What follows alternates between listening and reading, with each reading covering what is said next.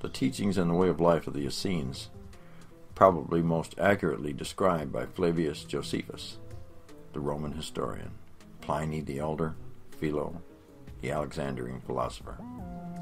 Others in this 300 year period often refer to them. Their information is supported by a number of modern historians. There seems to be a general agreement among these historians on the uniqueness of the Essenes and the basic information about them. Among all the beautiful teachings known to man, none has had more of a profound influence, for good, other than that of the Essenes. The Essene history documented by these historians covers approximately a 300 year span from 186 BC to the destruction of the Great Temple in 70 AD, the final Roman defeat of the Jewish people. Some were married and others celibate. The typical Essene was a mystic of the desert, but others were called zealots for their political translation of the scriptures into political action. Yeah.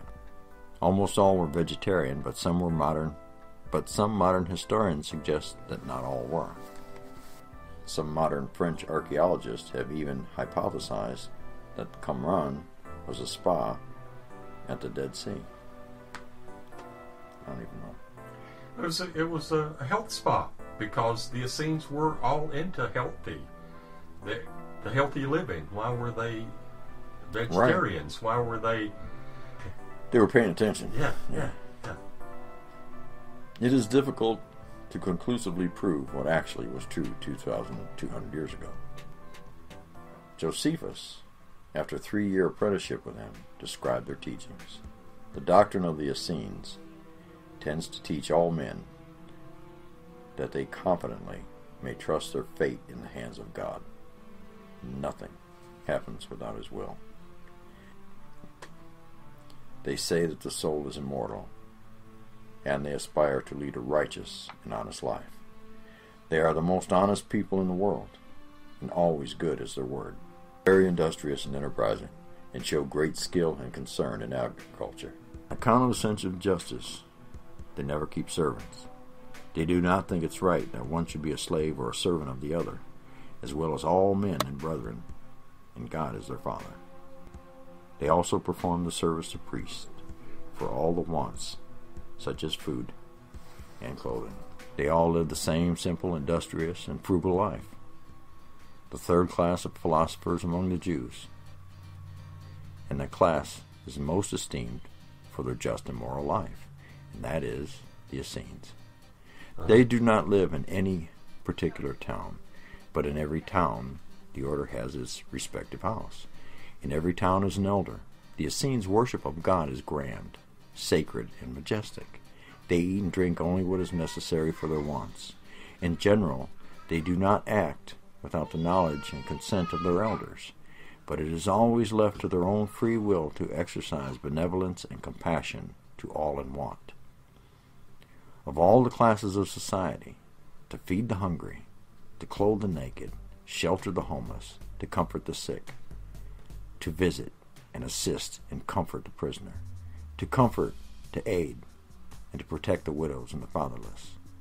They study with perseverance and interest ancient writings. They have profound knowledge of the art of healing, and they study it arduously. Now, who does that sound like? It all sounds like Jesus. Everything of that says it's uh-huh. Jesus. Uh-huh. They examine and are acquainted with the medicinal herbs and plants which they prepare as medicine for man and beast. They were cold water bathers on a daily basis, wearers of only linen, and general were purest in their life habits. Others suggest that they enjoyed music, dance, and other forms of movement and exercise. The Essenes were not seen as just philosophers, but were considered people of interest, intense moral and physical action, reflecting their intense beliefs. In accordance with their lifestyle outside of healing, they were collectively involved primarily in different forms of agriculture. The Essenes called a therapeute, translated physician. Wow. Physician, heal thyself. Uh-huh. They are instructed in godly, goodly books, They are instructed in goodly books in the writings of the prophets, and they grow in wisdom and purity of heart. Many of the Essenes have often stepped forth among the people as prophets. Their passages often came true, and this increased the esteem with the people as holy men, prophets. Rightly do they deserve to be called an example for the life of other people. Indeed, they are champions of faith, truth, and honesty. As the servants and arbitrators of peace, they are to wake up the perennial truth of all paths. The divine presence is the essence of who they are. When they are in this consciousness, it is known as Devaka. Their essence is the truth of all religions. From that truth, the natural state spontaneously emanates that non causal love, peace, contentment, and joy. Naturally. Naturally. And that is what they seek. The Essene's consciousness of Devaka, cleaving to God, Yah, implies constant communion with the divine and an intense, overwhelming consciousness. Isn't that who we are supposed to be? Yeah. Well, that is the foundations of Christianity. Yes, it is. Yeah. That's who. That is the old ways. It's the old ways. Mm-hmm. And what I heard in all of this was Christ. It's what he was teaching. It's what he was teaching. Mm-hmm. The Essene consciousness is that of the awakened ones. They are the ones who live in the eternal presence beyond the confines of the identification with the mind and body. Oral tradition says that Enoch, the seventh generation from Adam who walked with Yah and became whole, was the first Essene. Oral and written tradition also teaches that Enoch was taken up alive. Enoch then walked with God and was no more. And scriptures say that Noah, who walked with Yah and was whole, Noah's son, Shem, also known as Melchizedek. No, it's true. Uh, yep, yep. That's, Received. that's where Abraham got his. It. Bam. They will Okay. pass this information to, from generation to generation. And Scriptures say that ahead. Noah also walked with Yah and was whole. Noah's son Shem, also known as Melchizedek, received the lineage from Noah and passed on the lineage to Abraham, who walked before Yah and was whole. Oh, Abraham. This is Abraham. that's I- the I- That's the The old Jewish way. Okay. spelling. Yeah. Okay. Abram. Abram. Uh-huh. Okay. Certain oral traditions suggested that Sufis, Muslim Sufis, the Sufis. The- yeah. Okay. Certain oral traditions suggested Sufis, Muslim mystics, and the Essenes, both suggest their mystical tradition of liberation goes back to Adam, may indeed have been one of the same mystic groups at one time. While Sufis became the Islamic mystical expression, both knowing their essential oneness. After the teachings of the lineage were transferred by Melchizedek, the son of Noah called Shem, to Abraham. They were then translated to Yitzhak, to Yaakov, and to Yosef teachings, and then reemerged with Moses' teachings of the first set of tablets brought down, brought down from Mount Sinai. In the Essene lore, Kabbalistic oral tradition, these esoteric teachings brought down by Moses were given to those who were spiritually ready. First set. But Es- many esoteric. but many of the people were not ready for these esoteric teachings of the tradition. The second set of tablets, containing what we call the Ten Commandments, comprised the exoteric teachings mm-hmm. given to guide the vast majority who, in their spiritual immaturity, had created the golden calf. Until now, even the relatively concrete teachings of the magnificently simple and profound Ten Commandments have been too difficult for most of the world to follow. The Essenes taught a way of being whole and peaceful that included following the laws of the Torah. But the Essenes taught a way of being whole and peaceful that included following the laws of the Torah, but took one beyond It's one, rote, one step the rote performing of the laws. Mhm. Their teachings were not meant to replace the Ten Commandments, but rather to offer a way to transform oneself into the living law of the Ten Commandments, as the Ten Speakings. The teaching and lineage were given to King David, King Solomon, Samuel the prophet, and to the prophets Elijah, Elisha, Isaiah, Jeremiah, Ezekiel, and Amos. Many of these prophets lived on the Mount Carmel mountain range and guided people who gathered around them, creating a subtle beginning of Essene communities as far back as 600 BC. Essenes sent forth teachers from their own communities to share these teachings with all nations, including mention Essene in 20 BC, John the Baptist, John the Beloved. Seems obvious. Though it's difficult to absolutely prove that Jesus, Mary, and Joseph were Essenes, there is substantial oral and some written history that supports this. Essence of the Essene teachings can be found in the beautiful seven Beatitudes of Jesus' Sermon on the Mount. The Essene movement evolved from them into the Qumran community by the Dead Sea in 186 BCE.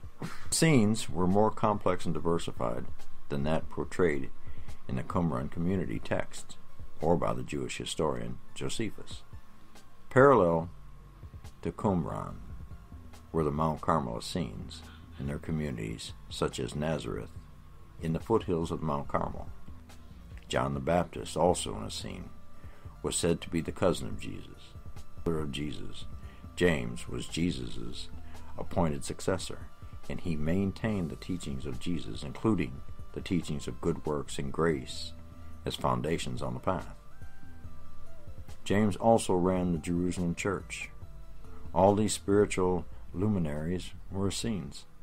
Jesus taught the enlightened Torah and Talmudic prophetic ways of the Essenes Yeah, the as a Jew. No one knows exactly what happened to the Essenes. In 69 AD, forewarned by the advancing Roman legions, they hid many of their manuscripts and sacred texts, and they seemed to disappear. Oral tradition suggests that they brought their teachings in small groups to the far corners of the earth. Some of them were said to have been to become the Gnostics. Their knowledge has only resurfaced in this century through the finding of the Dead Sea Scrolls in 1947 at Qumran and a few manuscripts that have been preserved in monasteries. It is relevant today and as in ancient times. The seen message of Devakut, God merging, or walk before Yah, and the whole, and to be whole, is an eternal spiritual message. To walk before means to be a blessing of God on this planet. Wake up and stay awake is the message and the blessing. Let's put the pieces together. One little known fact that most Christians don't know is that the earliest followers of Jesus weren't called Christians, they were called Nazarenes. Nazarenes was the name of the northern Essenes at Mount Carmel. The Bible even confirms that the earliest followers of Jesus were called Nazarenes. After his conversion, the Apostle Paul was accused by the Jewish religious leaders of being a ringleader of the Nazarene sect. Before they were called Christians, the earliest followers of Jesus were called Nazarenes. For this group did not name themselves after Christ or with Jesus' own name, but Nazarene. All Christians were called Nazarenes once before the disciples began to be called Christians at Antioch. They were so called followers of the apostles. They dedicate themselves to the law.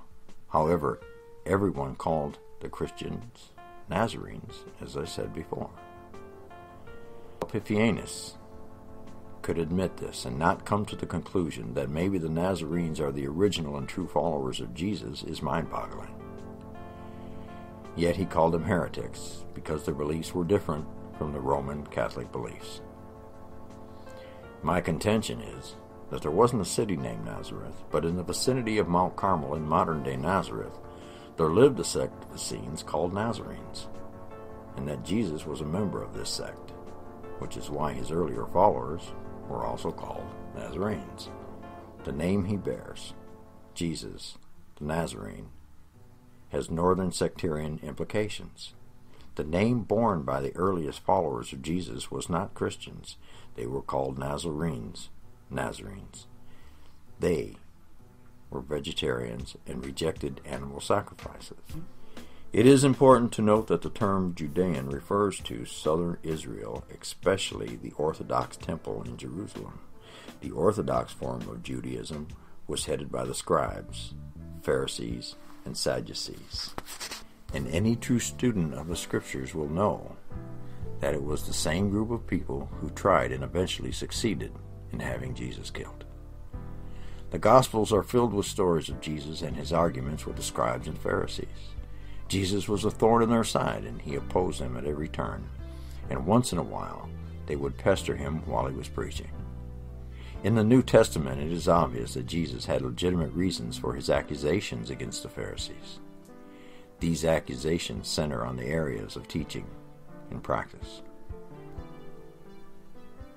The old Nazarenes, like the Samaritans, were opposed to the Judean traditions, holding that the Southerners had falsified the laws of Moses. This is strikingly familiar about what Epiphanius wrote about the Nazarene Essenes when he said that they claim that these books of Moses are fictions and that none of these customs were instituted by the fathers.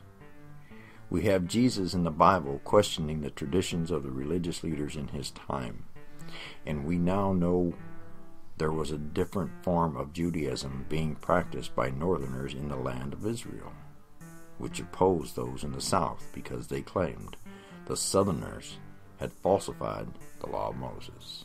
Maybe the reason Jesus opposed the Pharisees so much was because Jesus belonged to the Nazarene Essenes in the north and believed that the Jews in the south had corrupted Judaism.